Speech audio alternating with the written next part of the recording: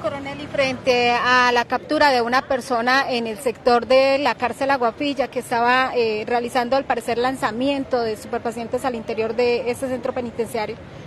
Bueno, afortunadamente nosotros contamos con apoyo de nuestro Ejército Nacional también para realizar este tipo de actividades. Ya aquí mi, mi mayor de tránsito, porque fue en compañía de la Dirección de Tránsito y Transporte de la Policía Nacional, nuestra Secretaría de Tránsito, en conjunto con el Ejército, logra ubicar un tipo, un individuo que estaba haciendo estos lanzamientos. Fabián, por favor, coméntenos cómo fue la ubicación de la operación y qué se logró incautar en, este, en esta aprehensión o esta captura del individuo.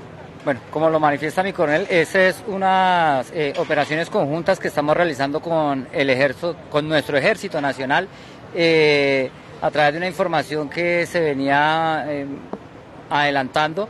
se logra generar un operativo alrededor de la cárcel de La Guafilla y se logra la captura de una persona que pues llevaba consigo un arma de fuego, eh, unos estupefacientes, eh, al parecer marihuana, eh, tres celulares y cuatro cargadores para celulares. Esto con el propósito obviamente de ser lanzado al interior del de, el centro carcelario. ¿Cómo realizan esta modalidad? Por medio de lanzamiento. Ellos hacen unos lanzamientos al interior de la de la cárcel son personas que están entrenadas específicamente para realizar estos lanzamientos. Pero el objetivo del individuo sería lanzar también las municiones y el arma de fuego al interior del centro penitenciario. Pues normalmente lo que lanzan son los medios de comunicación y los estupefacientes. No sabemos si en este caso quisieran también lanzar eh, el arma de fuego al interior de la, del centro penitenciario. ¿Está identificado conocen las autoridades de policía cuál es, digamos, eh, la técnica, el modus operandi utilizado por ellos? ¿Qué tipo de adecuación realizan para que estos paquetes caigan en los sitios específicos y no de pronto en áreas como los techos u otros eh, sectores más controlados de la cárcel? Por medio de, como les manifestaba, un entrenamiento que realizan eh, estas personas, eh, ya saben cuál es la distancia aproximada a, los patios y, y, realizan en algunas eh, fincas que no hemos logrado identificar el sitio exacto, ese entrenamiento por medio de herramientas tipo onda, haciendo el lanzamiento al interior de la cárcel.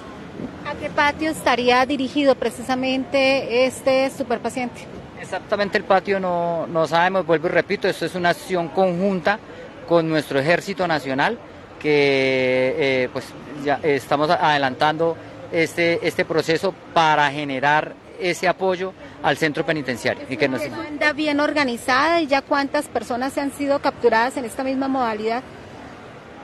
Creemos que sí es una banda organizada que se dedica a generar este lanzamiento eh, dentro de lo que ha desarrollado Ejército Nacional con la seccional de tránsito. Esta es la primera captura que realizamos. ¿Es un hecho que por primera vez se presenta en, este, eh, en esta cárcel? No, estos lanzamientos se vienen desarrollando ya con anterioridad. Coronel, también se realizó eh, precisamente la ubicación de un laboratorio en uno de los municipios del departamento.